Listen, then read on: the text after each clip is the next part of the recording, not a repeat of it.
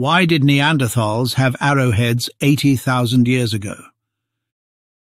In the mountains of Uzbekistan, in a cave filled with the bones of ibex and red deer, the story of Neanderthals takes an unexpected turn.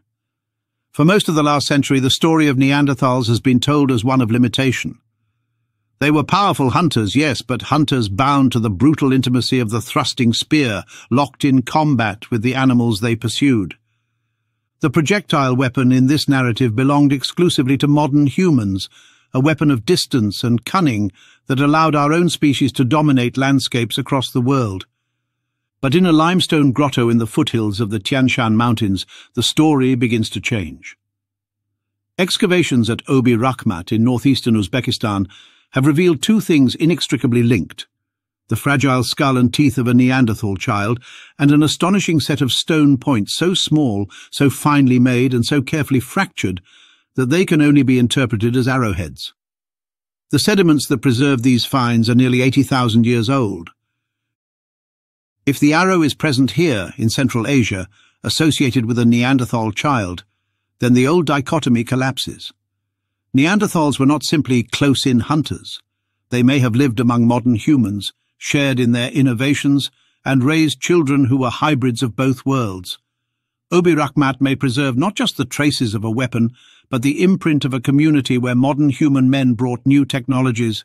Neanderthal women joined them, and their children carried the blended legacy of both. The child from Obi Rakhmat was between nine and twelve years old when death came. Only fragments of the skull survived, alongside six maxillary teeth. Those teeth speak loudly, Shovel-shaped incisors, crenulated premolars, and complex molars mark the child as Neanderthal. Yet the cranial fragments tell a subtler tale. The vault is rounded, not flattened. The parietals curve more like those of early modern humans than like the heavy domes of Western Neanderthals. Here was a child between categories, a mosaic of features that cannot be forced neatly into one lineage. Perhaps the child was exactly that, a hybrid offspring born to a Neanderthal mother and modern human father. In a region that lay between the Levant and the steppe, such unions may have been far from rare. So in this site we could have modern human men making arrowheads, and Neanderthal women, and hybrid children. Mixed in the layers that held the child's bones were thousands of blades and flakes. Among them, archaeologists discovered a handful of minuscule triangular points. At first glance, they were unremarkable debris, but under the microscope they revealed impact fractures and linear scarring that only occur when stone tips strike bone or flesh at high velocity. Experimental replication showed the truth. When archaeologists knapped new points from local limestone, hafted them onto narrow shafts with bitumen and charcoal, and shot them with a bow into animal carcasses, the same patterns of damage emerged. These were not scrapers or knives. They were arrowheads, their presence so far back in time is startling.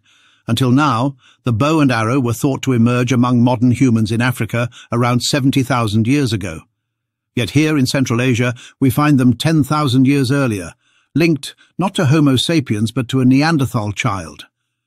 The explanation may lie in who lived at Obi Rakhmat. If modern human men carried bows and arrows northward from the Middle East, and Neanderthal women joined them, the hybrid children of such unions could have grown up in a world where new tools and new bodies intertwined. South of Obi Rakhmat, in another cave in Uzbekistan, the remains of another child tell a different story. Discovered in 1938, the Teshik Tash child was also about nine years old at death. His skull, reconstructed from more than 100 fragments, shows every hallmark of a classic Neanderthal. A long, low vault, massive brow ridges, and thick bones. He was buried with ibex horns arranged in a circle, a hint of ritual that has fascinated archaeologists ever since. The tools of Teshik Tash were Mousterian, the characteristic Neanderthal tradition of scrapers and points. No arrows lie in that assemblage. The Teshik Tash child anchors the eastern edge of the Neanderthal world, showing us what pure tradition looked like. Obi Rakhmat, only a few hundred kilometres away, shows us something else entirely. The contrast suggests that Central Asia was not a single cultural bloc. Some valleys preserved Neanderthal ways, while others, like Obi Rakhmat, became crucibles of innovation, blending Neanderthal ancestry with modern human technology. To the southwest, in the caves of Mount Carmel in the Near East, lie the remains of another group that bridges categories. At Skhul, more than ten individuals dating to around 100,000 years ago have skulls that are recognizably modern in overall shape, but still bear Neanderthal-like heaviness in brow ridges and bone thickness. Some mandibles lack chins, a trait more common among Neanderthals. The Skhul fossils are widely seen as hybrids, descendants of Homo sapiens who had interbred with Neanderthals during one of the early expansions out of Africa. The tools found with them include blades and points that hint at the beginnings of projectile technology. Climate models predict that around 80,000 years ago, modern humans could have moved north into Uzbekistan after being established in India. If Obi Rakhmat's arrowheads look out of place in Central Asia, they make more sense in light of Skhul. The Levant was a crossroads where modern humans and Neanderthals met and mingled. It is not hard to imagine that men from these hybrid groups pushed northward, bringing their hunting traditions with them. In the valleys of the Tian Shan, they may have met Neanderthal women who became mothers to hybrid children. The bones themselves tell one story, but the molecules preserved inside them add another. Mitochondrial DNA, which is passed down through the maternal line, has been recovered from both the Obi Rakhmat child and the Teshik Tash child. In both cases, the sequences fall firmly within the Neanderthal range. This means that despite the mosaic appearance of the Obi skull, the child's maternal ancestry was Neanderthal. The same is true at Teshik Tash, where the boy interred with ibex horns carried a Neanderthal maternal lineage. These results fit the hypothesis that Neanderthal women were the mothers in these hybrid communities, while modern human men may have been the outsiders bringing new technologies such as bladelets and arrows into Central Asia. The genetics confirm that on the maternal side, the continuity of Neanderthal heritage persisted, while the tools and cranial features hint at admixture arriving through the paternal line. The story that emerges is not one of sudden invention or isolated genius. Instead, it is the story of human contact. Modern human men moving out of the Levant may have carried new technologies, long blades, bone tools, and the bow and arrow. Neanderthal women in Central Asia, facing the challenges of survival, may have joined these newcomers. Their children inherited Neanderthal teeth and modern skull shapes, growing up with arrowheads knapped from local limestone. Such a community would have been genetically mixed and culturally innovative. It would explain why Obi Rakhmat looks so different from Teshik Tash, why the tools hint at upper Paleolithic traditions long before their time, and why the child's bones refuse to fit neatly into one category. If Neanderthals at Obi Rakhmat were using arrows 80,000 years ago, it changes everything. It means that long-range hunting technology was not the exclusive preserve of Homo sapiens. It means Neanderthals were not only capable of adopting new ideas, but of passing them on through hybrid generations. It suggests that the boundary between species was porous, not a wall, but a bridge. The arrowheads are more than artifacts. They are echoes of social bonds, men and women meeting across divides, raising children who carried both bloodlines. They are signs of knowledge shared and adapted, of a blended people who hunted with weapons thought to belong only to us. The old story painted Neanderthals as our shadowy rivals, bound to fail because they lacked our creativity.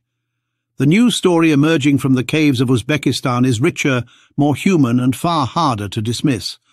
Coincidentally, these arrowheads look very similar to arrowheads found in France, dated to around 55,000 years ago, and associated with modern humans, which are identical to a type of arrowhead found in Lebanon, known as the Ksar Akil tools.